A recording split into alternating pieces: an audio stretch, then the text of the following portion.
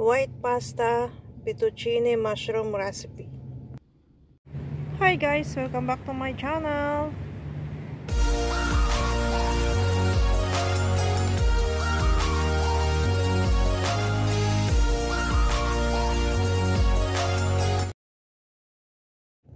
Tara, samahan nyo ako magluto. Ito, nakagayat na yung bawang at saka sibuyas.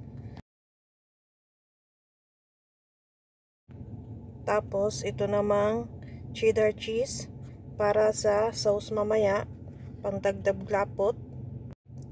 At ito namang heavy cream na product ang gamit ko para sa sauce.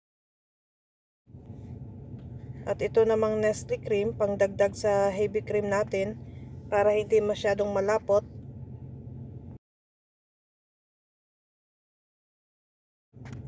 At itong panghalo natin na mushroom ready to cook.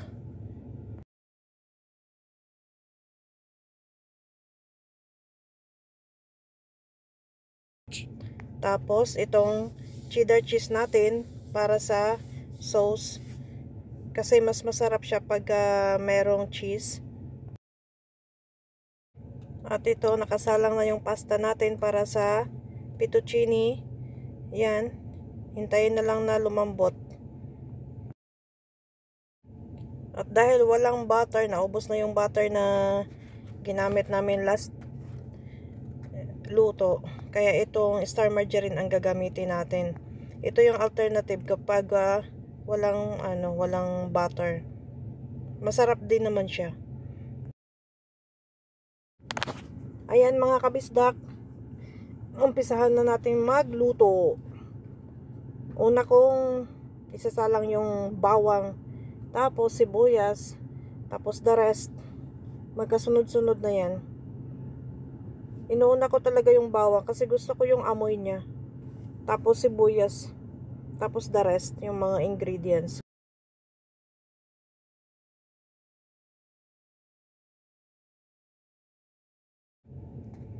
At dito naman, nilagay ko na yung ano, ginisa ko muna yung mushroom para lumambot. Luto naman na siya actually, pero kailangan pa din na lutuin konti para lumambot.